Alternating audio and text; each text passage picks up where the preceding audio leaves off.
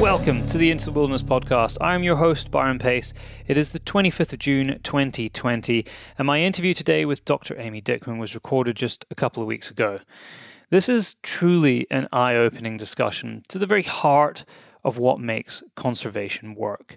Amy is a Kaplan Senior Research Fellow at Felid Conservation in the Department of Zoology at Oxford University, as well as sitting on the IUCN Cat Specialist Group. So much of our chat today centers around her work with big cats, but we dig deep into how conservation can be made sustainable in the long term, as well as the complexities of human wildlife conflict and the common insensitivity of conservation interactions with local communities. We talk about the importance of compassion and humanity in our efforts to conserve wild spaces, and the necessity to implement an international value to resources if we want to protect them. We finish up our chat talking about the famous picture of her holding her young child on stage at a National Geographic conference and what challenges she faced being a woman in conservation. So much awesome stuff here. But before we get to that, the winner from two weeks ago, where I gave you the chance to win a copy of Modern Huntsman, any volume you wanted. This is made possible because of our collaboration with Modern Huntsman, where I am also the international editor alongside an amazing team headed up by editor in chief Tyler Sharp. I asked you all to rate and review this show, and the winner picked from those of you who did is C. Lynn, who kindly wrote I first found the Pace Brothers podcast when they were talking about snipe migration a few years back and was hooked instantly. They managed to make every episode fun and engaging, and you will always learn something about wildlife and land management. Excellent work. Well, thank you very much, Seelin. If you want to contact me, podcast at paceproductionsuk.com, I will get a copy of Modern Huntsman out to you. For this week, to win any volume of Modern Huntsman of your choosing, I would like to see a tag post somewhere on social, absolutely anywhere on social, of you listening to the show. Now, this doesn't have to be a picture of your face listening to it, just show me where you listen to the podcast. Uh, you can tag at Pace Brothers Film on Facebook. You can tag at Byron J. Pace on either Instagram or Twitter, or you can send an email, podcast at paceproductionsuk.com, and I will pick a winner possibly at random, or maybe the coolest picture that I get tagged in. I haven't decided yet, but somebody will win a copy. Now, sometimes I forget to mention that all of our awesome podcast listeners can also get 15% off all Modern Huntsman products on our shop on thepacebrothers.com. Click shop. Uh, in the drop down, you'll find Modern Huntsman. So you can get 15% off anything in that category with the promo code Into the Wilderness. And with Volume 5 and all the other pre orders shipping out to the UK pretty soon, uh, this is a perfect opportunity to use that promo code. Last thing before we jump into the show, a shout out to our top tier Patreons, who this week are Richard Stevens, Richard McNeil, Ronnie Speakman of rdcontracting.co.uk, Tom McCraith, James Benjamin Normandale, James Marchington, the team at South Ayrshire Stalking, Josh Starling, Sean Rowan, James Albin Corbin, Thomas Cameron, and Mark Zabrowski. If you want to help support the show, head over to patreon.com forward slash Pace Brothers and you can have a look at the various support tiers. There is some pretty cool swag that we send out uh, depending on the tier that you sign up to. Uh, oh, there is one other thing, and that is that sadly I have to mention that the Northern Shooting Show, which we have mentioned periodically, uh, that was going to be happening this year and then was postponed to later in the year, has been cancelled for 2020, but it will be happening, with any luck, in 2021. The full details of this are on northernshootingshow.co.uk. Sad that it's not happening this year, but it's a decision that's been made by a lot of shows, so we have it to look forward to next year. Okay, that really is it this time. I welcome Amy Dickman to the Into the Wilderness podcast. Amy, welcome to the Into the Wilderness podcast. Great to have you on today. I would normally expect you to be somewhere in the field in Africa, but you're locked down in the UK, I'm guessing, like everyone else? I am indeed. I am hiding out under my daughter's bunk bed at the moment, trying to avoid my two year old and five year old for long enough to do the podcast. You've created a little sound studio there. exactly. My husband is with them for anyone who's concerned out there. Very good. Um, today, we're, we're going to be talking a lot about big cat conservation. That's going to be the, the core and like main thrust of, uh, of our discussion. Uh, but before we like really get into that, there's a lot of groups and organizations and titles and things that you're involved in. I really want to find out about how you got this interest from a young age, what what drew you to where your fascination lies now. But but before we do that, just as a, a way of overview, tell me what, what you're involved in, the, the links between Oxford University, your research in Tanzania, IUCN. We'll dig into all of that a little bit later, but just as a sort of a broad overview so people can understand the kind of work that you're doing and the organizations you're involved in. Yeah, so I am the Kaplan Senior Research Fellow at Oxford University. That's a fellowship held at Pembroke College and it's held at the Wildlife Conservation Research Unit, which is part of Oxford Zoology Department. And through that, the remit of the fellowship, which I first got in 2009, was simply to set up an internationally significant conservation project. So it was very broad, could have been anything the focus they wanted to be on big cats. And so then I chose the Ruaha landscape, which I, in southern Tanzania, which is where I had worked for my master's and my PhD. So through the fellowship, I set up the Ruaha Carnivore Project, and it's been going on now for just over 10 years through Oxford. Mm-hmm. And you also sit uh, within a group uh, in the IUCN as well. Yes. Yeah, so lots of people, you know, as you gain expertise or as you persuade people you have some expertise, the two may not be the same. Uh, people actually invite you, you know, obviously onto different groups. So I'm part of the IUCN uh, Cat Specialist Group, the African Lion Working Group, which is now affiliated with the Cat Specialist Group. And then you build up relationships, obviously, over time with lots of different organizations. We have funders from across the world, and organizations like National Geographic have been really key in our funding. So through that, I became a National Geographic explorer through their grantee program. So you build up this sort of network of different organizations that you interact with all the time. So how how long has this been your life? It's is it is like 20 years or more? Yeah, just over 20 years. So I first went out wow. in Africa when I was 21 um, very, yeah, oh my God, I look back at those pictures now and I was so young and just keen and enthusiastic. You know, some of that is still true, not so young anymore, but, um, but it was just such a amazing privilege to get out there. I mean, it was something I'd been passionate about doing for as long as I can remember. You know, I've, I'd always wanted to work with big cats. And my brother and I found a memory box that we'd buried uh, saying what we wanted to be doing at the unimaginable age of 30. So when we wrote it when I was about 10, and mine only had two things on it. It said I wanted to be studying lions in the Serengeti, and I wanted to have a zebra striped Land Rover. So those are my two sort of life dreams. Uh, I think those are two amazing ambitions. I mean, I, I might, I'm being a Land Rover fan. I, I think the probably the zebra striped Land Rover might have been slightly higher for me, but a zebra striped Land Rover in Africa, I think, would have I been know. my caveat. but at ten years old, that's like so insightful. Well, was just funny. I mean, I said, now I have like seven broken down Land Rovers and feel much so constantly in need of fixing. So, uh, yeah, I just need at some point to paint one zebra striped, and then I will have achieved my goals. That's it. You've done. Like you can you can retire happy once you get your zebra striped Land Rover. exactly. So. Uh, You've you've started there at a, at a very young age. Is there was there anything in your in your upbringing up to that age that gave you this enthusiasm for something which you clearly pursued to exactly the point that you had foreseen as a young 10 year old.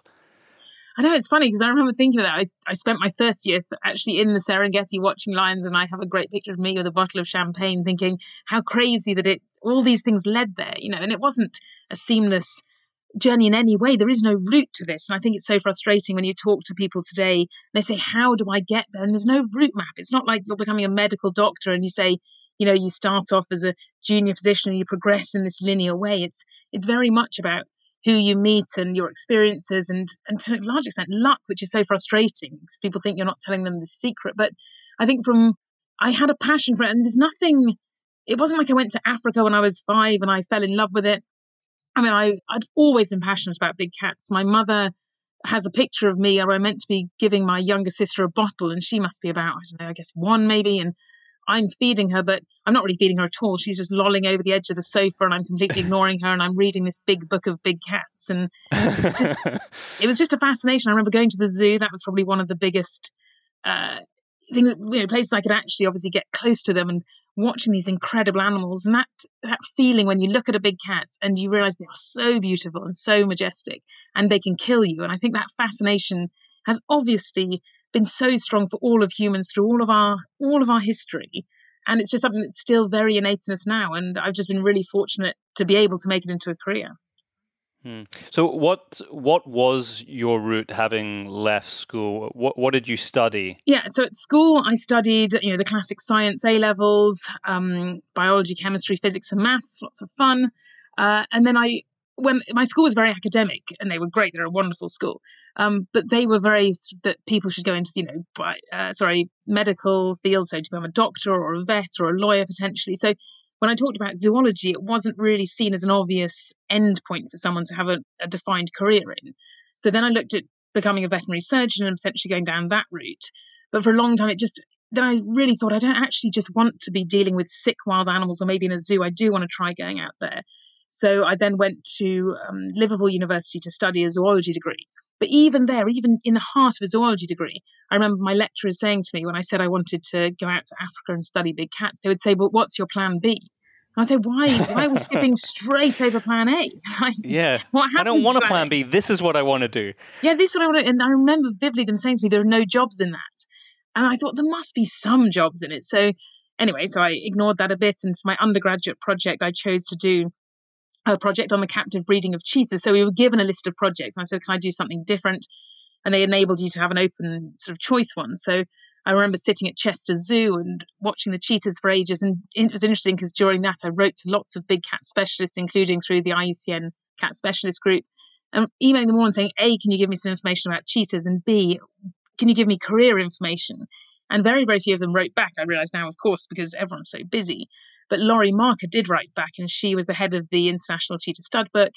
And she was very, you know, very forthcoming in what she shared. And also, she was good at sort of saying, this is something you can do. And it was interesting that after getting my degree, I then was looking around for something to do. And then it turned out to be, it is true, there are no jobs in this field. So uh, I was sort of at a slight loss. And I was really lucky in terms of the timing because I saw at the back of uh, New Scientist magazine there was an advert for the Wildlife Conservation Research Unit to have recent British graduates go and join them. And this was literally, I mean, the dream. If I had been able to pick one place I would have studied, it would have been WildCRU. I had known of David Macdonald, who runs it, and you know, I'd read the books, I'd watched the Velvet Claw about predators. I, I was fascinated. So it was literally the best potential opportunity, and I was so excited to go up to Oxford and to have a a um, an interview with them. And I remember going up to Oxford, having this interview. It went really, really well. It was David and quite a few other people. But I managed to completely mess it up at some point by mistaking corvids, which are um, crows, with cervids, yeah. which are deer. That was a problem. and made me look like a really terrible zoologist. But despite that, they somehow saw some sort of uh, potential. And I went and joined WildCRU there. And that was really the start of it. And, and after about a year of doing UK work, where they kept saying, you know, you could work on water voles or water shrews or all these things. And I did some of that, but I really wanted to go out to Africa. And I was on the cusp of leaving there to go and join the Meerkat project at Cambridge, um, just to get some African experience, because every job I saw wanted African experience. And then David said, no, we've got this woman joining who's finishing her PhD or doing her PhD. And she would like some assistance out in the field. You know, what about that? And it turned out to be Laurie Marker working on the cheetahs in Namibia. So it was a really interesting oh, thing we'd had this contact already. And I went out there for what was meant to be six months and turned into six years working with Laurie in Namibia. Six years. So where in Namibia were you? So the CCF is based in Otjiwarongo, but you would travel oh, yeah, all over the country. I, I, spend a lot of time in in that area because a friend oh, of mine has a, a, very big farm there. Where is that? Uh, that's uh, Mount Etjo. Okay, so, yeah, yeah, uh, yeah. yeah. Annette Oelofse and, yeah. and Alex. Yeah. No, I love Namibia. I was just talking the other day about getting our young kids back there soon just to sort of experience it. I do love Namibia. What was the work that you were doing there? So, so that was six years based primarily in Namibia. Yeah, so six years based in Namibia. Um, and that was all sort of conflict work. So on commercial farmland, where obviously there's a lot of uh, people raising both game and livestock, and then large carnivores are a problem. In most of those places, the lions have been extirpated, but cheetahs and leopards are obviously you know, important carnivores, both for game and for livestock. So there was an awful lot of conflict with commercial farmers, and we would go out and we would respond to that conflict, try to bring in cheetahs that had been captured by farmers, try to re release them, track them.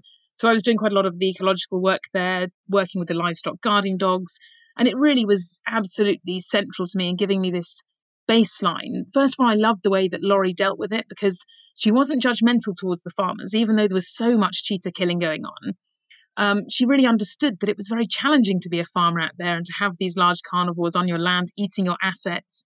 So I was trying to work out ways of which where you could improve that coexistence and and find new solutions rather than just making them the enemy. Because I think that's never the way forward from that point to now, what um, systems have been put in place there to help ease the conflict of cheetah predation for farmers, or, or the, at the very least compensate? Was it only cheetahs you were looking at? Because uh, there's a similar kind of story going on with, with leopards there as well. It was mainly cheetahs, but certainly we dealt with leopards as well to some extent. So farmers would call about leopards as well. There'd be other organisations like AfriCat who were there who would also work more with the leopards but we certainly got called for both and we did work with both to some extent. So, in terms of the conflict mitigation there, it was a lot about just readjusting the costs and the benefits of having large carnivores on the land. So, the first and the most obvious is reducing those costs. How do you make the carnivores that are there less of a direct threat to your livestock? And that was things like placing livestock guarding dogs. That was a really important thing because actually they're very effective dogs um, with cheetahs. And so this was both communal and commercial farmers going out and placing puppies, ensuring they knew how to treat them within the livestock, you know, how they, what problematic behaviors they should look out for, and how they would get a dog that was protective and attentive of the livestock. So that's been a really successful program over there. Uh, making sure just simple things like you have human guardians with them, you keep them in good enclosures. So there are fairly simple, effective steps you can make in somewhere like Namibia to help people reinforce uh, their enclosures and protect their livestock. But obviously, no one is going to put up with carnivores if they're just a slightly lower risk. That doesn't make any sense for people. You've got to make sure that the benefits outweigh the costs. And so in Namibia is one of the places where I'd first realized the issue of trophy hunting. And having gone over as very much a, you know, a newbie, a very animal loving, quite animal rights leaning person, this idea that Laurie could see there was some value in the trophy hunting of cheetahs, this species that she was absolutely fixated on, was really amazing to me, but it really showed when we talked to farmers that they were willing to put up with the presence of cheetahs on their land if there was a chance that they might then be able to trophy hunt a cheetah and get a significant amount of revenue from it. So it was worth. And this is just an this is just an economic compensation aspect. Exactly. So it's not directly compensation, obviously, for the livestock kills, but it's the idea of yeah, at a bigger level, you have the the chance of getting a value from that animal rather than just a pure cost or the risk of a cost. So those things were happening as well. And then they they've done other quite innovative things, something called Bushblok there, which is I know I don't know if you know there's obviously invasive bush that is spreading across mm. large parts of Namibia. That's bad for the farmers. It's it's difficult. Yeah, they do a lot of debushing. Well. You see it everywhere there. Exactly. So they were coming up with quite a a sort of um, an environmentally friendly way of clearing the bush, but also having these agreements with the farmers. So they would get a premium of selling it as these sort of, you know, cheetah friendly product if the farmers then signed up to sort of more of the coexistence strategies that are happening in Namibia. So it, it was just working out ways, listening to the farmers of what they needed, and trying to come up with ways that they could have those benefits delivered more through conservation. And have we? What what what are the numbers? Told us on the back of the work that was implemented at that time going forward to today. Do we have are there more cheetah in, in namibia? Certainly from things that i've seen laurie you know share recently i think i think the numbers have probably stabilized there. There's huge amounts of killing and the killing has gone down significantly on those farms. There was you know the amount of killing was just staggering of the cheetah killings that's certainly tailed off. Whether the numbers have actually increased at a countrywide level obviously cheetahs and other large carnivores are very hard to survey in an effective way and you'd have to put a huge amount of resources into doing an effective survey. So I think the best thing we can probably say is that if we significantly reduce the key threats to them, then the likelihood is that at least those with those threats reduced, that you know you're going to have the population stabilize and hopefully over time grow. But I don't know if there's particularly you know robust science showing that they've increased you know as a direct result of those things. It's very hard to tease those things out. Hmm. And this story of, of human wildlife conflict, which I, I, know is what you spend a lot of your time um, or have, have spent a lot of your time researching, is a story that is replicated a, across almost the entire continent. I, I, mean, not just in Africa, we see it in, in almost all parts Absolutely. of the world, but mm-hmm. uh, in terms of your, your area of research and where you spend most of your time, we're, we're seeing this across most of Africa. There's a difference between this and uh, the poaching element when we're we're talking about uh, ivory and rhino horn. I think sometimes it gets uh, mixed up and it's slightly confusing to understand the these web of conflicts that exist there. I imagine you took a lot of what you learned there to implement in when you ended up in Tanzania. What was your what was your next step after your six years in Namibia? What, what happened between there and um, this where your the next journey began in Tanzania? So I knew that much as I was loving the time in Namibia and I'd learned a huge amount through Laurie, I did always have this sort of desire, this itch to get back out or get out. I'd never been actually to East Africa. And I still had this sort of dream of the Serengeti. And it turned out very randomly, I came back to uh, Canterbury to a Society for Conservation Biology conference and uh, happened to be sitting out. And this woman walked up and she sat down and we started chatting.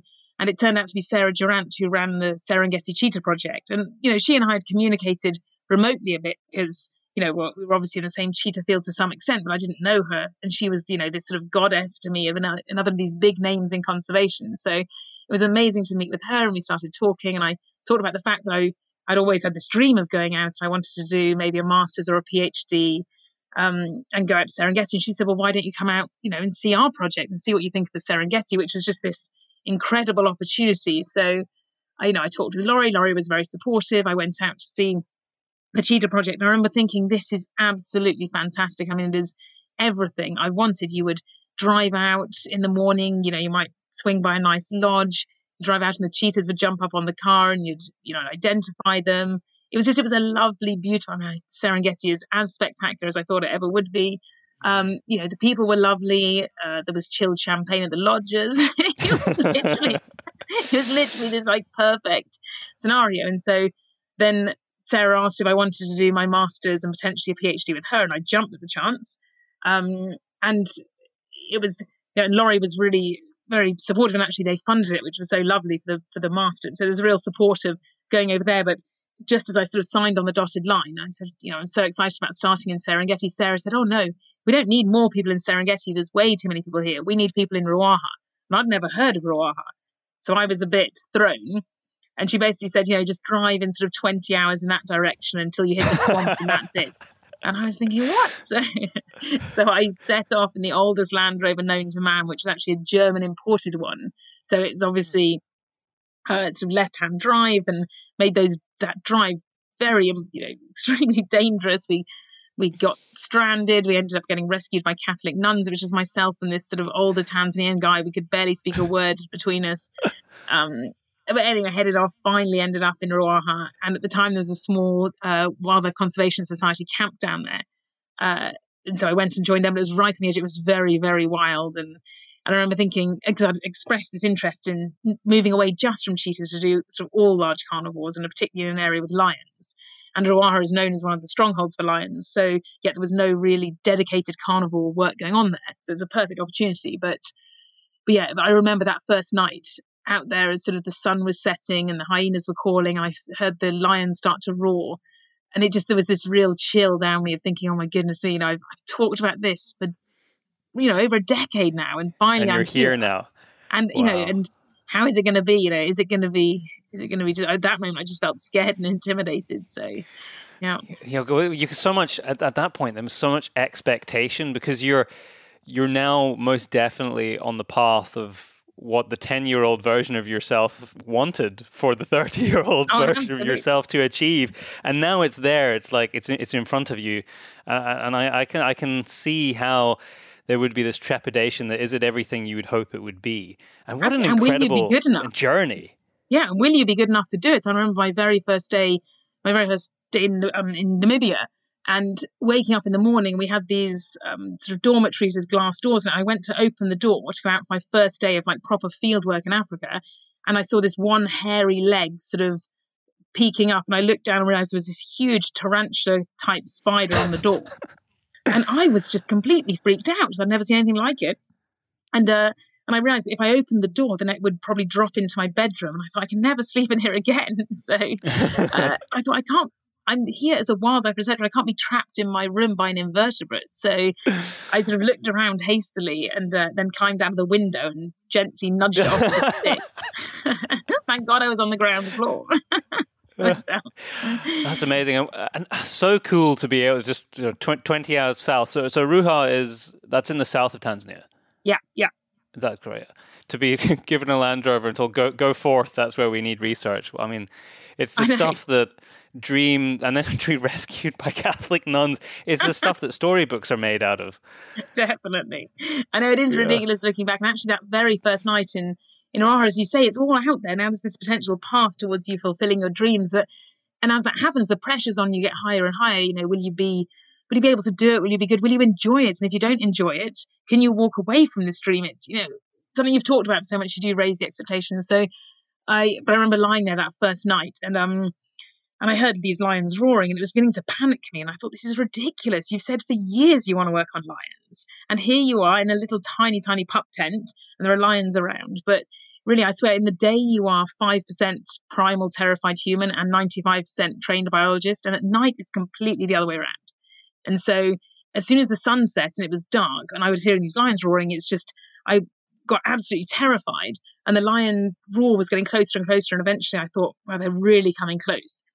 And I thought, I bet I could make it to the Land Rover in time. So it wasn't parked that far away. And I had my hand on the zip and this roar sort of, you know, shattered the, the bush and the, the night sounds. And I thought, well, uh, that day we'd been out to see an attack of lions on a cattle enclosure. And if they can't get into a cattle enclosure, if it's quite secure, what they do is they walk around and around it until the lions are so freaked out, sorry, the cattle are so freaked out that they break out and then the lions kill them. So I remember having my hand on this zip and thinking, be more intelligent than a cow. Just do not, do not run out to where the lions are.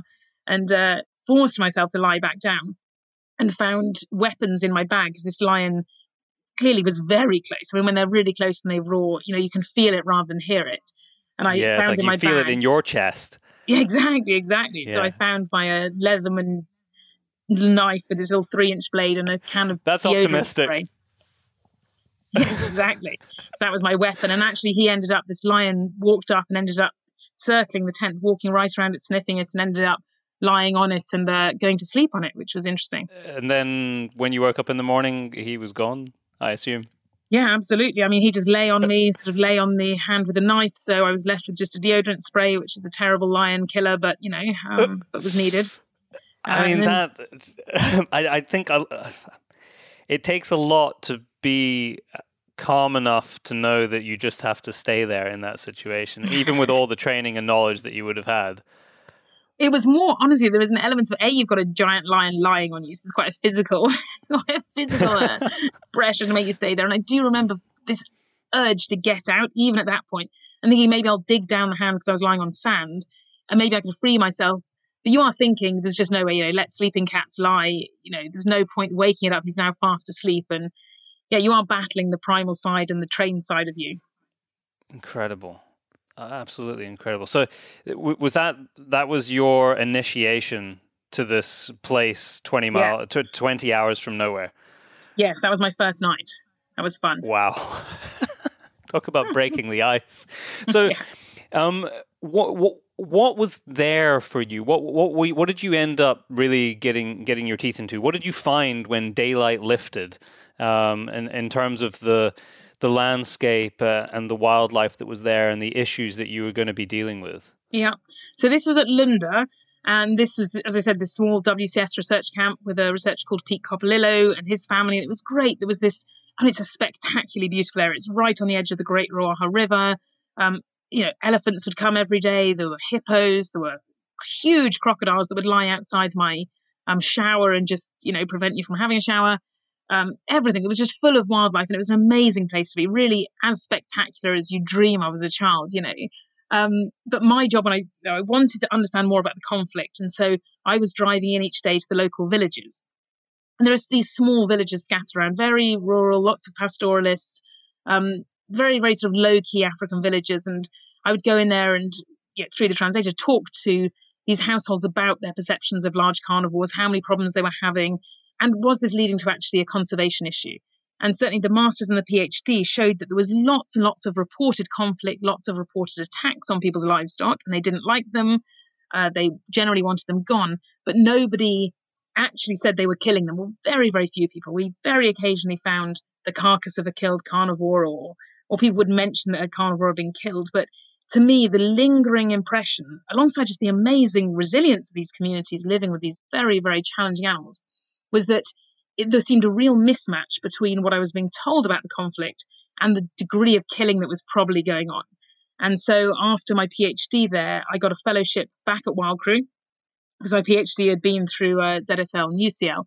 Um, so when I went, I, this opportunity came up at WildCRU and I got the fellowship there, which as I said, to start this internationally significant conservation project. So I said to them, We've done the groundwork for this project here. We know there's lots of reported conflict, but I suspect there's a lot more real killing and a lot we haven't even scraped the surface of. So I want to be based actually right in the heart of village land. So where the original camp was, was in this slightly sort of protected area um, edge of it. But I wanted to be right on a village land so that we could really understand the perceptions of the villagers and really see if we could detect how much killing was going on and try to put in place conservation solutions to reduce that killing. Hmm. And what did what did you find when you when you went back there and now you started this like next phase of of your research? What what was the reality on the ground, and how, if, there was an, an, increased amount of killing that you weren't aware of, how I, am intrigued to know how uh, lions were being killed, and if it mm-hmm. always was in retaliation for taking yeah. cattle or or members of of the village. Yeah, so when we first went back, it was myself and two Tanzanians that started up this project, and we had no money. We didn't even have a car at the time. So someone lent us this extremely old, battered, that sort of Hilux that was that was just the source of jokes all around the place. That these, you know, white Westerners, you know, turned off in this terrible, terrible car. but um, we would basically went and we asked one of the local villagers because we, having known through the PhD that there was a lot of killing. Apparently, when people talked about it, especially if you heard at bars and things, people would talk about the Barabaig being the ones who are the most hostile towards large carnivores. And this is a tribe that is a sister tribe to the Maasai. Um, but they're much more secretive and much more hostile, at least in this area. So they're known locally as Mangati, which means the enemy. They just very much kept themselves themselves. So all of the pointers suggested that we should try to set the camp up somewhere where we would have access to the Barabaig. And so we found this one village called Kitisi that is an amazing little village um, and has lots of Barabaig living there. And they said, okay, you know, you can be based here and do what you want. So we just set up these three tiny tents under a tree. And the whole point was then was to really just try to listen and to understand and talk to people about the killing going on. Unfortunately, it was very true that the Barabaig were extremely hostile, extremely secretive, uh, no one would engage with us at all. You know, we would go up to Barabaig households and they would run away. Uh, we would try to call meetings and no one would come. Uh, we talked to other villagers quite a lot and we would find quite a lot of carcasses around. There was clearly quite a bit of killing going on. But again, when people talked about the Barabaig, we couldn't get them to engage at all. And literally that went on for two years.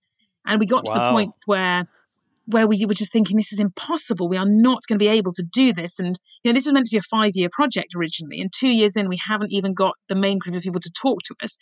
And then we ended up putting up solar panels for the first time at camp. So until then, we'd been charging things off car batteries, and we put these solar panels up to charge our laptops. And uh, and suddenly the Barabaig arrived to charge their mobile phones, which which just um, to this day, I kick myself for not thinking of that earlier because of you course. found that you found the common language. I know. We all need energy. Exactly. These days, we all need energy. We all need energy, and our cell phones are really important to us. So yeah. they started turning up, and it wasn't like an immediate breakthrough, but they would come to the camp. Then there was a real reason for them to come. So suddenly there's a charging station. They had to walk, you know, many kilometers before to charge their phones. So they would come, and they would, it was broke down some of the original uh, fear that was around us. And eventually, uh, they invited us down to their tribal meeting after a long period of time. But this was after one night when we were sitting in camp, and I remember hearing what was clearly the celebration of a lion kill going on. So people were singing and dancing and banging their spears, and you could hear them making lion noises. And we thought that has to be the celebration of a kill. So it was about 11 o'clock at night, and we thought, let's just put on our, you know, shoes and get out there and go and see what's going on. So we walked off through the bush to this to try and reach this homestead. And there were the three of us. And I remember about halfway up, it was a very dark night. It was moonlit, but very cloudy. And as about we were halfway up to this household, we suddenly all three of us stopped. And you got that prickling feeling on the back of your neck that something was watching you, that there was danger around. And I thought, is it a lion? Is it a hyena? What is it? And suddenly the clouds parted and this moonlight came down, and we were entirely surrounded by a group of warriors with their spears up. And um, and they said, you know, we were like, Utafiti, you know, doing research. And one of them, the guy, the main guy who stepped forward, Shabani, was like, what were you doing? We were about to kill you. You know, we thought you were here to steal our cattle. And then we, we didn't realize there'd been a whole cattle rustling conflict going on between the Maasai and the Barabaig. Okay. And, but they said, we, we realized you were making so much noise. There's no way you were Maasai um, just tramping through the bush. Uh, and so anyway, so they, I said, "What on earth are you doing out here trying to get yourself killed?" And we said, "We want to talk to you about this. We want to understand your perspectives of of lion killing and why you do it." And so finally, they said, "Okay, now we'll come and talk to you. If you're really this serious about it, we'll come and talk." So then we had a really good meeting with them at the camp, and they just explained that you know there were lots of different elements to the killing.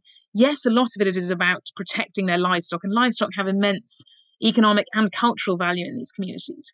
But also, it was beyond that. It was very tied up with the status um, of being a warrior, that this is something you do as a warrior, and that they were having gifts given to them amongst the communities if a young man would go out and spear a lion.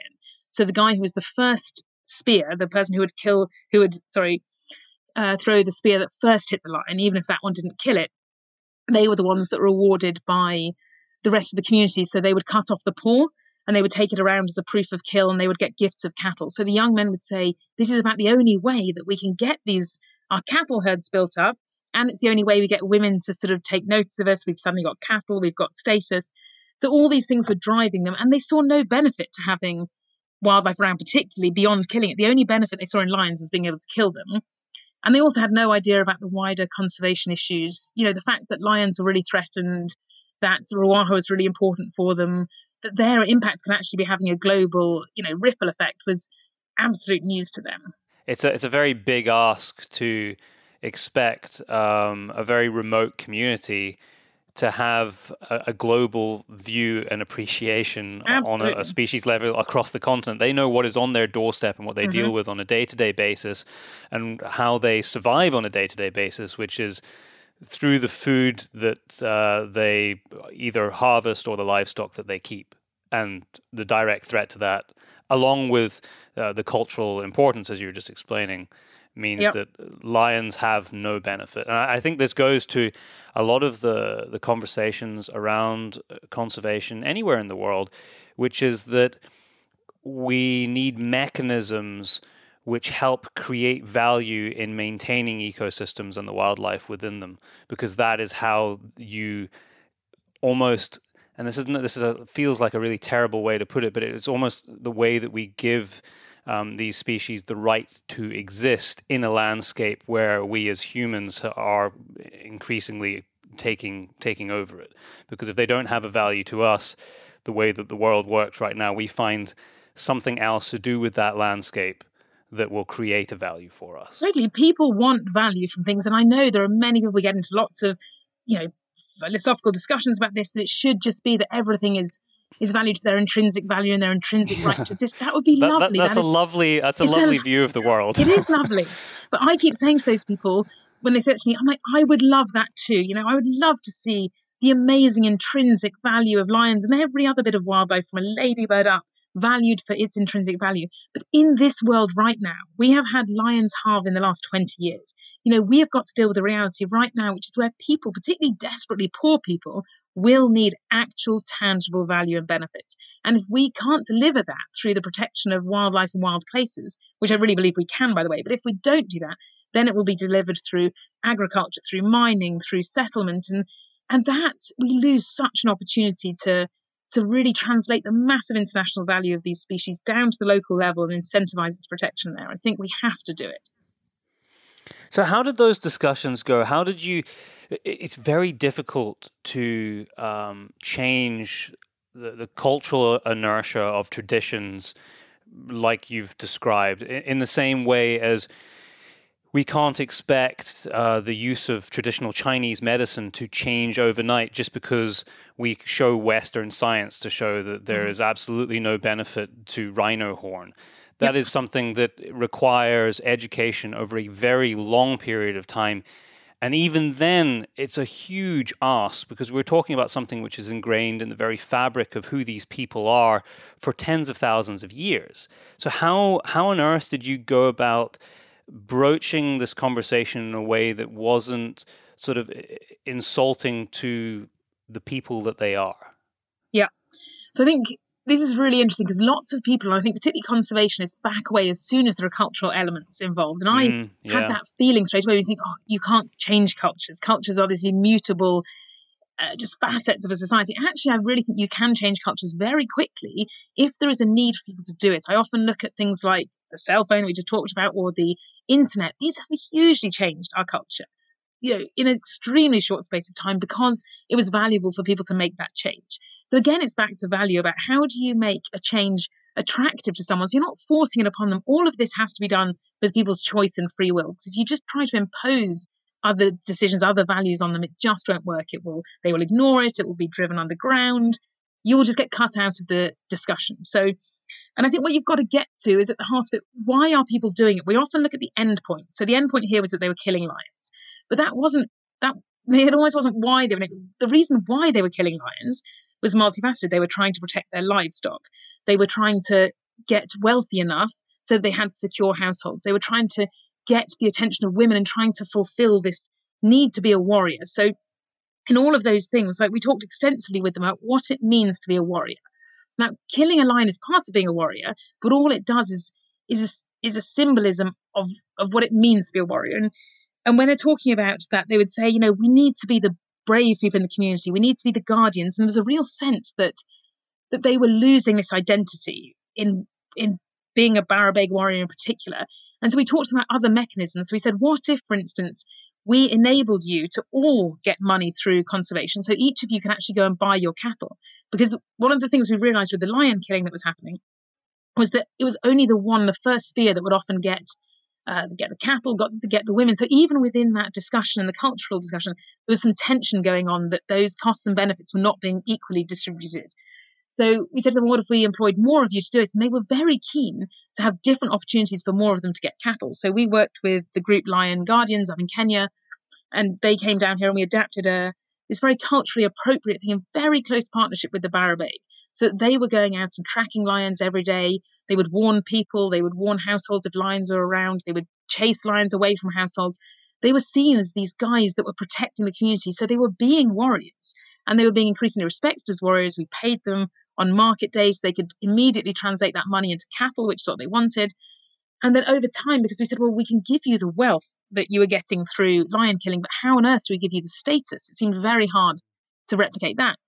And they said, well, we would love to know how to read or write because only one person in the village could read or write. And this was a huge status symbol. So Education. I actually, I wouldn't have really mm. thought of it because again, I was stuck in this view that these are traditional warriors and they don't want to do this kind of stuff. But there was a real desire. So now we've trained them all. They're all literate and numerate.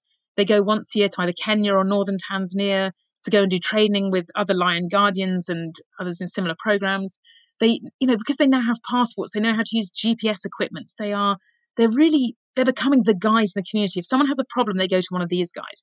And because of that, we've seen the women now say, we used to want our daughters to marry lion killers, but now we want them to marry lion defenders, which is what we call them locally, because they are now all those things about being a warrior can be replicated in this way. And it was it was actually a very good time for it because that kind of killing isn't legal in most cases in Tanzania. And so there was increasing pressure that they couldn't do this as much. You know, they, they can't go into the national park and kill. There was sometimes, you know, a lot of attention if they killed on village land. So so it was it was a good time actually to say, well, maybe there's a different way of enabling you to get what you get from this, but through lion conservation rather than lion killing. And it hasn't been flawless. There have been some groups that definitely want to do it, that value that. But if in general you get the community invested in something and you get it to be something they have developed that answers their needs, then it's much more uh, long lasting. Amazing. So yeah, very, this is very much a story of uh, poacher turned turn gamekeeper and guardian. I'm interested. With and this has come to light um, so dramatically right now with the current situation, uh, the, the global pandemic and, and the lockdown, and the the lack of funding, which is going to many places around the world, particularly in Africa, uh, which is used for conservation through you know whether that be um, hunting or whether that be just photographic tourism. A lot of those streams of revenue have dried up rather rapidly and unexpectedly. How how are you funding? this shift, uh, this this shift in uh, the culture, so that you're compensating in, in a different manner through through monetary means um, to be able to pay them to go and track lions, to be able to to buy their cattle. Yeah. So it's, we are funding. I think we, we rely on philanthropy a lot, and we also rely on people traveling around the world, which is a system that has really broken down recently definitely. And for our work, it particularly relies, as you say, on philanthropy. It relies on everything from, I mean, zoos have been one of our major funders. And zoos have absolutely, obviously, been hit extremely hard by COVID 19 because they've had to close and you know, they're really struggling to keep their own uh, operations going, let alone be able to fund externally, even though many of them still are. But it's it's one of these things that we've talked all the last 10 years when I've been writing grant applications for this. There's usually a little box that says, How is this work sustainable beyond the life of the grant? And I say, in most cases, it isn't, because there's such a disconnect between the value ascribed to these species internationally and the value ascribed to them locally that if we don't effectively take that money internationally and put it in locally, then we are not going to get, as we've talked about before, they will switch to other more profitable forms of using that land. And so of course, this has brought into very sharp relief the then that issues related to relying on external funding. Some of the work that we do, because the Lion uh, Guardians, the Lion Defenders part of it is only a part of it. So some of it is about, you know, training people in how best to protect their livestock. And so we have conflict officers in the villages who really teach people best practices, who, because we do everything from school feeding programs to female empowerment work, there's lots of things that people have started to recognize the value in these species. And even if, and of course, because a lot of those things actually lo- last longer, the women getting more education, um, the children starting finishing their secondary school and having more choices in where they go. All these things have a longer sort of tail effect that go beyond even this next year of funding. And what it does, I think, is it recognizes locally that the wildlife has a value, even if in this next year we have a dip in the funding and there are certain programs we have to pull back. There's been a recognition that they are with an internationally valued resource. And I think that's something that is a is a real shift in perception that's very valuable there. Um, one of our biggest programs that we work on is something called community camera trapping, which is a very direct monetary incentive, where we were doing camera trapping on the village land and everyone was stealing the camera traps. We were meanwhile doing benefit programs of education, and healthcare, and veterinary and people were taking the benefits and still killing the wildlife, which uh, why wouldn't you? And so we ended up bringing these two things together. And so the villagers now are trained and employed to do the camera trapping. And for each village, the more wild animals they camera trap on their land, the more points they generate. And then those points are directly translated into extra healthcare, education, and veterinary benefits. So this has become a huge driver of local community development. And while that is absolutely reliant on external funding coming in, it certainly changed the perception locally that they have something of value. And it's worth hanging on to it even during lean times, I think, because that value has been recognized. I remember not that long ago, we had a group of young men who were going to go out on a hunt, a lion hunt. And it was the women in the community who stood up and said, uh, You are killing the very thing that is enabling us to give birth safely and educate our children, and we're not having it. And the women themselves, nothing to do with us, put in a lion and elephant hunting ban in those communities. So that was really showing that they had really sort of internalized the potential value of maintaining these species, even with the risks they still they still sort of occur with them there. So I think there will be a dip from COVID nineteen, and we absolutely need more resilient models. We need different models. We need things like carbon uh, credits and long term habitat agreements. We need direct payments for wildlife. I think from international communities down to these landscapes that aren't contingent on people going there and whether it's tourism or trophy hunting or whatever, that it's just more of an international agreement to pay these uh, countries for maintaining the biodiversity that the whole globe relies upon. But we do need more mechanisms, and that's been really exemplified through this. Yeah, because we we spend a lot of time uh, in our in our comfortable houses in places like where I am right now, up in Scotland, or you down down in England, or in North America, writing and talking about the incredible biodiversity and how important these landscapes are in places like Africa and the wildlife that exists there.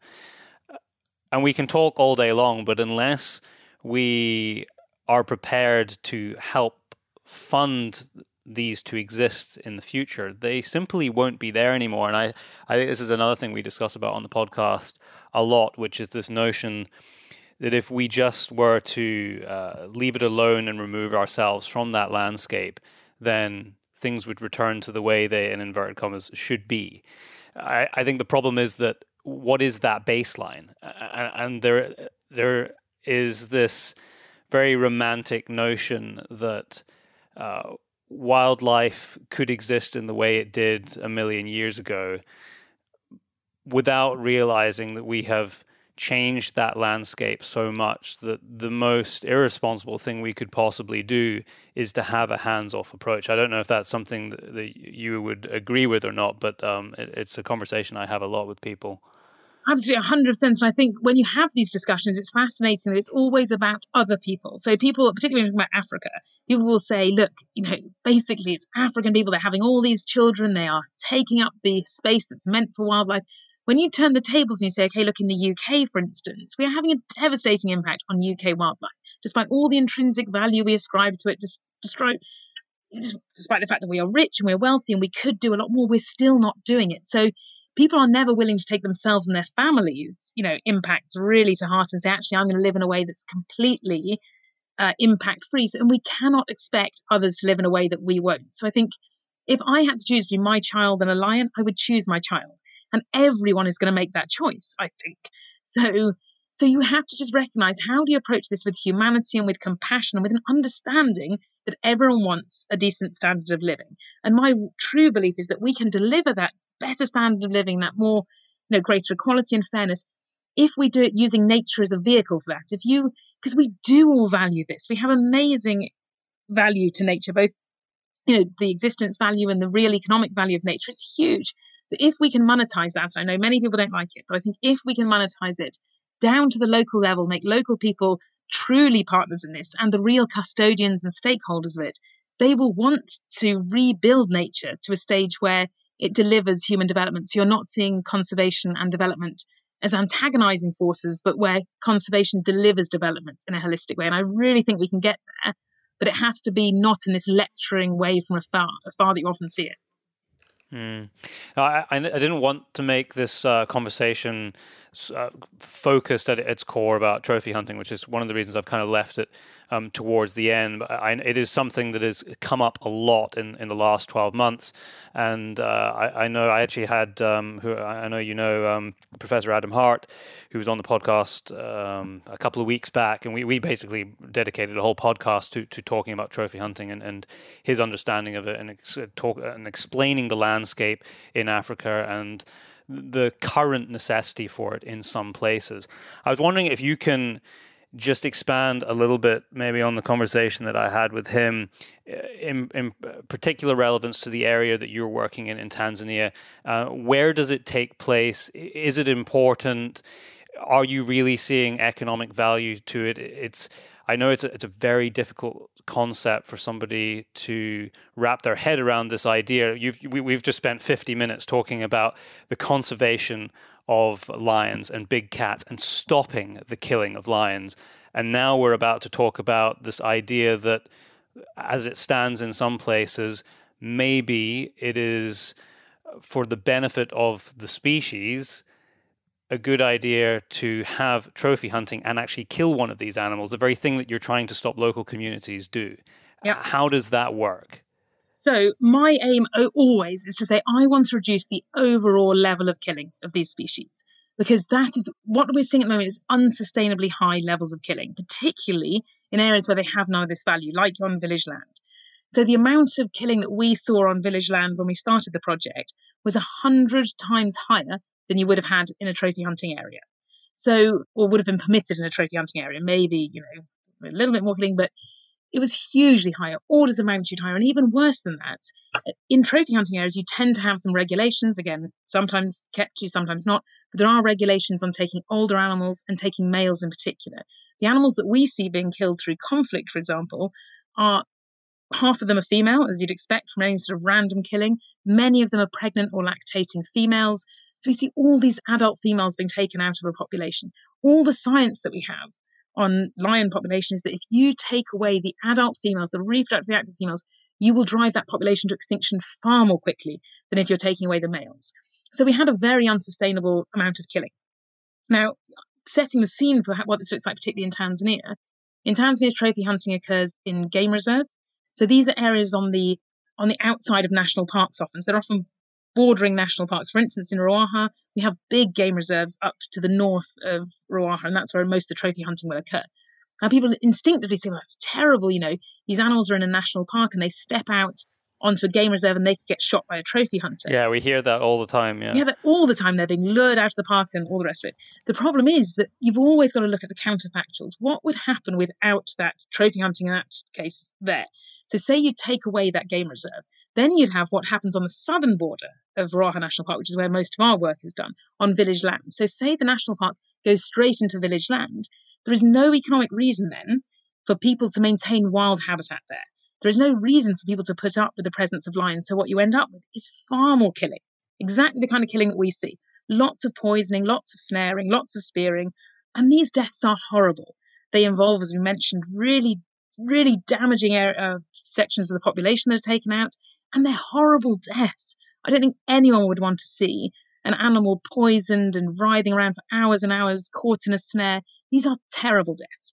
So when I talk to people about it, I completely understand the fact that innately the idea of killing this incredible animal for fun is horrifying. It's horrifying to me. You know, I'm a vegetarian. I've dedicated my life to reducing wildlife killing.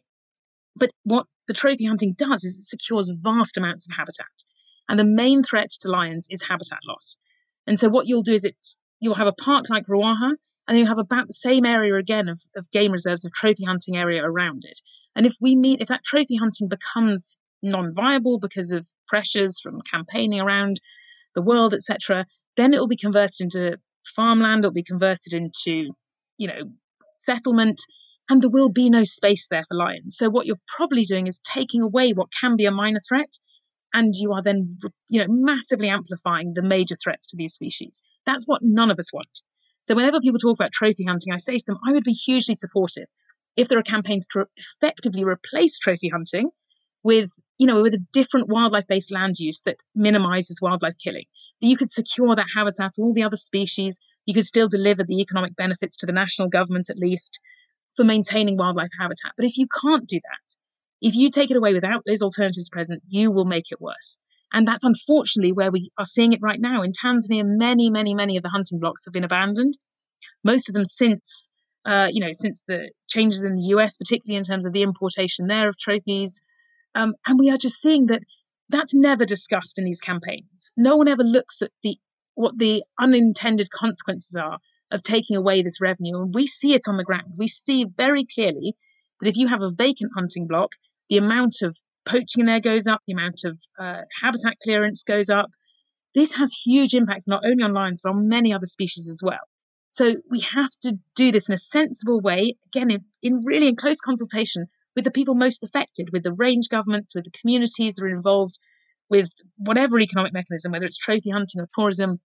Those people need to make their decisions, and those decisions need to be supported and not undermined if there are no better alternatives on the table. Mm. I, I, assume within these vast hunting blocks there are still uh, local indigenous communities living within them, and they're able to get benefit from the hunting that's going on, either through economic compensation or um, actually employment or, or meat. I'm guessing that there is some sort of system so that they are not um, killing lions or setting snares or or poaching uh, bushmeat for for food. Well, so it certainly varies a lot by location and by country. You know, you've got trophy hunting places like Namibia, obviously we talked about earlier, where that tends to be done in a lot of these conservancies, where it's absolutely managed by the local people as the key stakeholders. Yeah, they're brilliant. The conservancies. Yeah, there. it's an amazing one really because well. yeah, because that goes right down to the local level. In places like mm. Tanzania, local people aren't you know meant to be living in the game reserves there. So there will be some sort of small level jobs, there will be some meat distributed from the trophies. What the benefit tends to be there is the benefit to the national government of having a revenue from these large tracts of land that are set aside for wildlife. So, exactly really like tourism. in that in many cases in ecotourism, you don't actually have very significant benefits going down to the local communities beyond some seasonal jobs, some smaller level benefits to certain households, but it does provide a very big economic incentive for the governments to get some revenue, and that revenue often gets fed back into things like the wildlife division. So that does form a very important part of the mechanism of protecting the wider suite of protected areas across the country. So you have to understand the, the systems and you have to be very respectful and considerate of what would happen if something was taken away. And again, taking it away is as horrible as many people feel it is, and I completely concur with that feeling. I just think the sort of killings that we see are invisible internationally. They're not on social media but they are horrible and they are real and they are even more impactful than the trophy hunting killing in terms of conservation. So for me, it would be a huge disservice to lions if you took away the trophy hunting and just left it and massively increased these other types of killings. And that is what we're heading towards because we don't see a scalable, viable alternative uh, on the table at present. And I'm, I'm all very keen to work with whoever we can to think about what those mechanisms might look like but let's not throw the baby out with the bathwater. Let's not take away the mechanisms we have right now before having a better alternative in place. So you are, uh, I mean, this is uh, kind of repeating the point, but I'm just, I'm curious. The hunting blocks that have been abandoned or given back to the government because they're they're rented for a period of of time, these concessions. What is actually happening in them? Do we do we know for a fact that we're seeing uh, reductions in populations of, of, game across the board, along with uh, along with lions and, and, habitat destruction and trees being cut down. Is this is this visually what is happening on the ground? Yes, we definitely do know that, and it's something we're looking at around Ruaha at the moment. We're looking at other blocks in Tanzania, and we're looking at things like the forest cover as an index of habitat conversion. And we see that vacant blocks are definitely suffering worse than occupied trophy hunting blocks. So, and there's a lot of discussion. Some people will say, well, maybe the blocks were were made vacant because people had just mismanaged them for so long that they just abandoned them. It seems to me extremely unlikely that everyone would abandon them at the same time just after those new restrictions were in place. So I think it's much more likely that the economics made it non-viable. And then what you see, of course, is that the government does not have the capacity to throw in all that extra money towards anti-poaching, towards habitat protection, and people are in real need. So if they've also lost their jobs, much as people say internationally, it doesn't really matter. It's such a small amount of revenue that goes to the local mm. people. That to me seems really arrogant when you're dealing with yeah. a family for whom that revenue, small as it might seem at a GDP level, it was hugely important to that person and that family. And if well, you that was survival for them. Anything, yeah, it's survival. Of course, they're going to go in and then use the forest either to cut it down, charcoal clearing, um, bushmeat poaching. You you bring people back down to that level of need and direct extraction of resources in a way that is unregulated, at least you know effectively unregulated. And so, and then eventually, if that goes on for long enough, what you have is these areas, you know, very likely to be degazetted to other forms of land use because they become less valuable to the government for wildlife. They become less valuable in terms of the wildlife they actually maintain, and so it becomes this cascade effect. And I think everyone out there who's considering, you know, signing these petitions and doing all of these, please just really think about it a bit more and make sure you're really supporting these organizations that are working on the ground that have some idea of the complexities of these things because they always say every problem is simple from a distance and i think that's very true with something like trophy hunting whereas when you get into the the heart of it you have to think about the unintended consequences of taking it away without the better alternatives. It's a, it's a very complex subject. I want to get on just before we wrap up to talk about uh, Nat Geo and uh, women in conservation. But just because this was something that, that came up, and I, I want to get some some very clarity straight from you as to what happened here. When the there was the meeting in Parliament to discuss the potential trophy hunting ban, where I believe Zac Goldsmith was there and um, a handful of other people, and you went in attendance and were chucked out or asked to leave. Can you can you explain exactly what happened there? Because I would, I'd I'd love just to concisely get the truth because there was a lot of stuff going around on various um, platforms of so- social media at the time. Yeah, so this was a meeting that we'd heard about through somebody had posted on Twitter or something about this meeting that was being run by the campaign to ban trophy hunting. Um, in so it was a meeting in Parliament. It was very unclear from what we'd been sent on whether it was an open meeting. We had met with I'm trying to put remember the type the timeline of it all, but anyway, we discussed with Zac Goldsmith's office because we we saw that he was on it whether it was an open meeting. They they seemed very unclear about it. I'm a member of the IUCN Sustainable Use and Livelihood Specialist Group, so I talked with the head of the group, so I happened to be in London at that time. And she said, Well, look, just go along and see whether it's an open meeting, see whether it's very important because there are such passionate groups about this to really listen and understand all the different views on different sides. So I went along, it was the next day. we had no lead time. I went on the next day to see if it was open or invite only. It was very clearly open. It was an open space, an open room off the main hall in Parliament. There was no guest list, there was nobody asking names, there was nothing. So I walked in, and then literally immediately I was in there. I heard someone say, oh, "There's Amy Dickman," and I was amazed because a that anyone really recognised me, but you know they that or that I was seen as somehow antagonistic. So someone came up and asked what I was doing there, and I said, "Look, I'm here as a as a representative of the IUCN, Sustainable Use uh, and Livelihood Specialist Group, and literally, I'm not going to say anything. I'm just going to listen because it's very important for us, much as we did with the tribal warriors in Tanzania, is to listen to very different points of view. To observe and to, and to think where are our common grounds? Where are the drivers where we both have a shared interest that we can work on? Um, that didn't go down well at all. And ultimately, it was just difficult, but ultimately they were very clear they wanted me to leave, even when I pointed out that actually as an IUCN representative, this was something that the decision making in Parliament is very important for us to know about. And so they just told me I had to go, which was disappointing. That seems seems bizarre. What was the makeup of the room? Like who were who was having a discussion about what? Were you even able to to glean that before you were asked to leave? So we knew that it was being run by this organisation called the Campaign to Ban Trophy Hunting. Um, mm-hmm. They are very this much is Eduardo Gonçalves, group. is it? And yeah, and Eduardo Gonçalves yeah. and their That's, yeah and their group. So they were just and Zac Goldsmith and the organising MP was Tracey Crouch, and she was very when I explained to her later because when I said to Dilys Roe, who's the head of the specialist group, that this has happened, she said this is shocking and it shouldn't have happened. You should have been able to go in there and listen to an open meeting. They shouldn't have thrown you out, and that but Eduardo was there and he came up and said very openly, You have to leave or I'm going to get security to throw you out. And I thought, just why? There's, if we can never talk to people who have different views from us, it is a very sad state of affairs. And so later on, Tracey Crouch's um, office were very good and their representative there was very nice at the time. And and then they, she met with us later at Parliament to talk about this. And she said, You know, I don't want to be told who I can and can't listen to. And we said, We're very into having open, inclusive discussions about this. And the more we talk in just our little silos, and the more we only talk to people who think like we think, the more polarized and the more difficult these discussions are going to be. We have to be able to come to a shared space and have that yeah. You're not the enemy. you shouldn't be the enemy. I said to the person when I was standing there in the brief moments before I was thrown out, I said to somebody who was, seemed to be horrified, I was there, I said, look, everyone in this room is passionate about wildlife. So few people in the world are passionate about wildlife to the extent of the people here. So we must be able to use that passion and say, okay, say we all dislike trophy hunting, even if many people agree on that.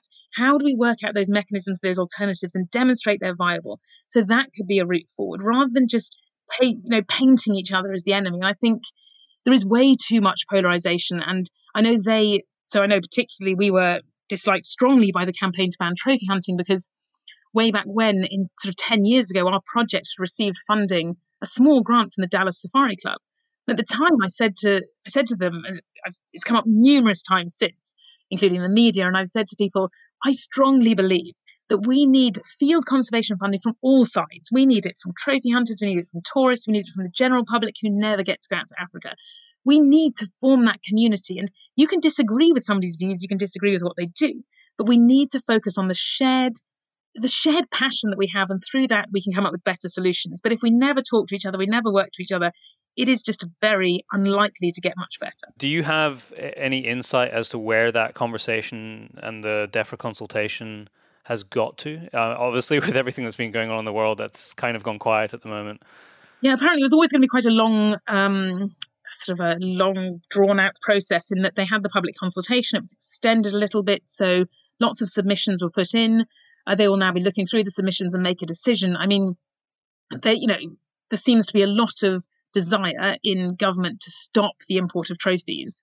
And we met with Zac Goldsmith with others, and yet the, clearly, again, the passion for African wildlife is really strong there. But we have to make sure, and our point is really again and again, let, there are steps that are recommended by the IUCN and how these decisions have to be made. They have to be made in cons- consultation with local people, with the exploration of full alternatives that have to be funded.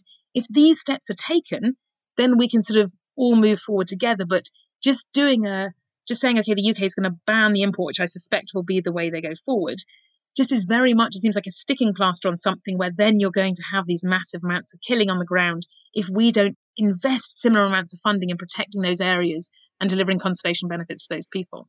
It seems to me strange that there is this lack of will to embrace and listen to the science delivered by the very people who know the most. And I find this confusing because in most other aspects of of government and, and consultation, that is what gets leaned on continually as a as a defense for their decision making is well the science says I mean we, we see it right now with the the coronavirus pandemic the science says this so these are the actions we are taking and yet in this case that is absolutely not the uh, not the circumstance you probably know more about wildlife uh, conflict with regard to, to lions in Africa than most people on the planet. And yet, in that instance, you weren't even allowed to observe, never mind contribute. Yeah, well, I think people is totally true. And Adam and I, you talked about chatting to him the other week. We talked about how in the coronavirus discussions, it's all been about those on the front lines, respecting the people on the front lines and listening to the science. I mean, that's obviously not just a singular thing, but the end, we, we were saying we hope that that translates to conservation, where it should be those people who are on the front lines, in inverted commas, that really understand these, that are listened to. The reason it doesn't get listened to, I think, is because uh, and this may be controversial, but I think people like simple slogans. They like they like a very clear narrative. You know, trophy hunting is one of those ones where it's so simple. There are bad guys. You know, lions are under threat. These animals that we love, and rich Westerners are going over and shooting the last few, and that's horrifying and should stop. It's such a simple narrative. It is very um, simple, yeah. Very simple. And then when you come in with the science, you say, actually, if you look at the lions, the the countries they're in, Tanzania is the most important country in the world for lions largely in part because it has these huge protected areas, many of which are trophy hunting reserves. You look at uh, Zimbabwe and uh, Namibia, two countries that have increasing lion populations. They rely heavily in many areas of the country on trophy hunting. So you start to blur the boundaries, and people seem to not like complexity when they talk to certainly the public, which I think is doing the public a disservice. I think the public are very used to complexity in their own lives and can cope with it, can say, I see the fact that I dislike trophy hunting, but I also dislike poisoning. So I don't want to take trophy hunting away if it ends up with 10 times more poisoning. And that's the kind of thing that we have to have those open discussions about. But I think, to be honest, when you get people like me and saying stuff like that, it, it's difficult for a group that is trying to fundraise and raise support off a very simple message because it muddies the water and it, it makes it just less clear. And that doesn't go with sort of a lobbying group. No, very true. Now, I want to move away from this as we as we bring this conversation to a close. You mentioned uh, the support from Nat- National Geographic at the start. You are a Nat Geo explorer. Uh, I have a lot of friends who are involved to, to, a greater or lesser extent with Nat Geo. It's an amazing organization, and, and they have this incredible esteem with anybody who's involved in them. And they, they've been producing some incredible documentaries in well for a long time, but particularly in recent years. What is uh, what was your involvement? How did that come about? So it came about through they started their national. I mean, obviously, I knew Nat Geo as everyone does, and again, like you say, totally iconic and amazing.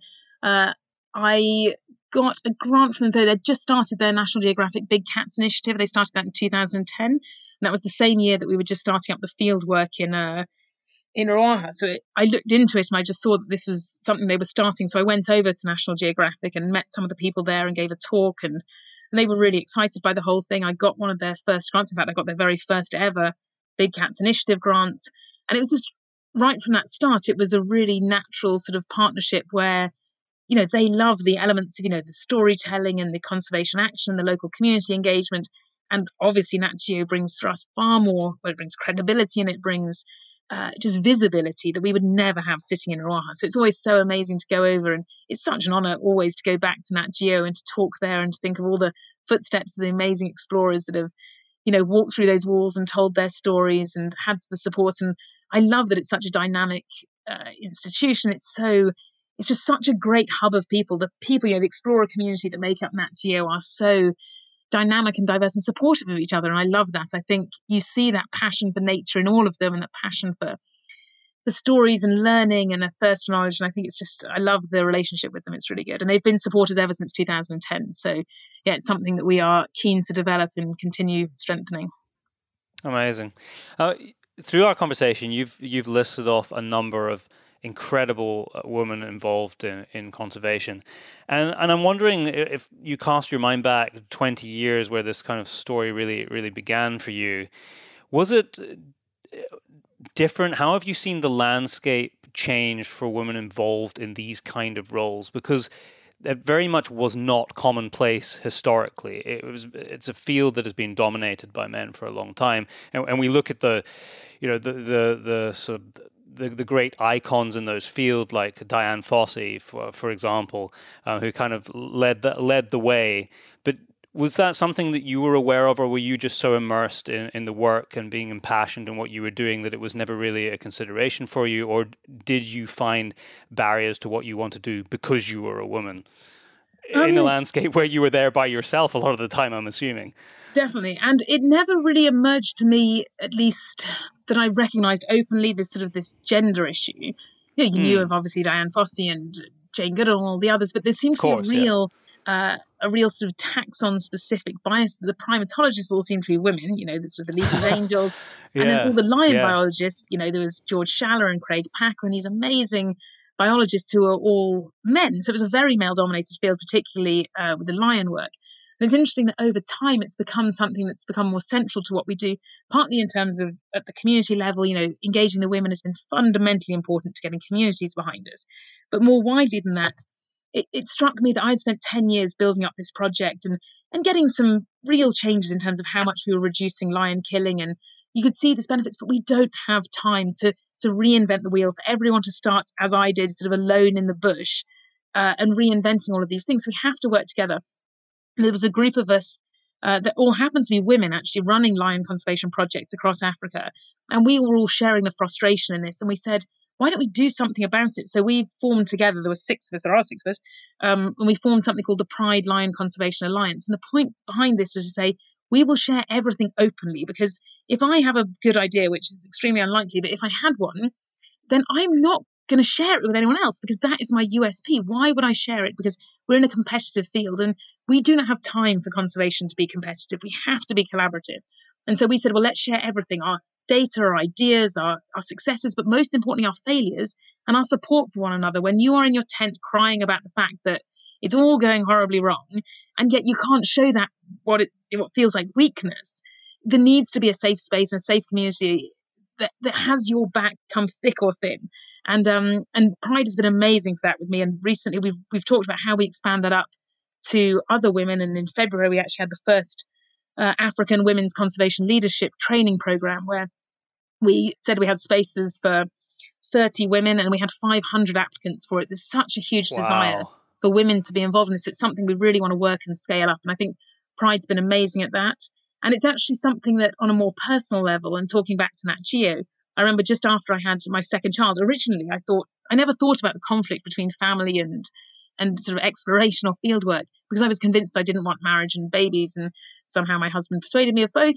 And uh, and um, I remember being at the Nat Geo Explorers Festival, and I just had my second baby, and he was about I don't know three weeks old, maybe I don't remember, but I was giving a talk, and so I thought, well, I, I could leave this baby at the back, but you know, then he'll start crying, and it'll be a nightmare. So I just thought oh, I'll wear him in a you know in a papoose, and so I got up on stage and I was talking, and it was so funny because this picture of me talking with the Nat Geo sign behind and the baby in the papoose became the most tweeted image of the whole festival. And it was so crazy to me that we have these amazing explorers that have climbed the highest mountains and the bottoms of the ocean. And the most amazing image is woman holds baby. And you think, we have things have become very unbalanced if that's the case. And it led to this amazing discussion afterwards during the festival with all these young female explorers who came up and said, I always thought I had to choose between either a family or sort of doing this kind of fieldwork. And it turned out all the women on the panel had children, but we had never thought to discuss it because it seems unprofessional as a woman to discuss it. It seems like you're being weak, whereas in actual fact, it takes a lot of strength to do it all. And no one can do it all without support. So, and it was a great thing. We, we ended up sort of totally shifting the program and talking about this a lot. And Nat Geo, to their immense credit, said, what is the biggest, one of the biggest issues of this? How, what are the, the problems of doing it, you know, in a, in a realistic sense? And I said, well, it's about funding. You know, you either have to pay extra childcare at home or you have to pay to have your baby and somebody come with you on field work and it's just it's an extra thing that you can't get grant money for and they put in place an, an explorers fund that specifically is for people with caring responsibilities to enable exactly that people to go out and and explore even while they've to balance you know, these areas of your life because we all have a wider life than just our work and you have to make people feel supported in all areas of that if you want them to have the long yeah the longevity in it. Yeah i, I didn't know that uh, nat geo had uh, funding in place for that. That's incredible yeah it was really good so uh yeah it's great so it's really good to see people being adaptive at that at you know the funder level and also just giving that that it sounds totally you know, it sounds really to say inspiration, but it gives that sort of um, visibility to younger people coming up to think, actually, I don't have to choose between these two desires. I can if do I both. Have support, if, I can if do you, both. If you show worse, yeah. Yeah, we need the support. Amy, what a fascinating conversation with you today. Thank you so much for taking time out of your day and uh, wrangling the kids downstairs so that we could have a conversation. um, I hope at some point in the future I might get a chance to, to meet you in person. And uh, I'm Very actually, if, if, if, we're allowed to travel at some point, I actually have some work due over in Tanzania quite soon. Oh, good. Uh, so you never know. Maybe it'll be out in the field potentially. How how how often do you get out now? Are you do you still split your time between the two places, or are you at home more than you're in the field now? I do split my time, but I am definitely at home. Well, since the two year old, it's just become a lot harder to get out there more. And we have also a fantastic project team that's out there. So we have, you know, over 70 people we built up to with the project. Um, you know, it's all scaled back with coronavirus, just with people going back to their homes, but we have amazing project managers and things. So there's slightly less need for me to be there now, which is a bit sad and slightly still. So I tend to do a bit more of the moment right now, uh, you know, more of the home stuff and also talking a lot with donors and building support for it and looking at how we can expand more widely these models to other places in Africa and think about how we grow that community again so that we're not all reinventing the wheel. Mm, that's great. Well, it's a great privilege to be able to tell a little bit of your story to our audience. So thank you very much, Amy. No, thank you very much for the time. It's great. Thanks, Byron. Thanks for listening. Tune in next week when we all take another walk into the wilderness.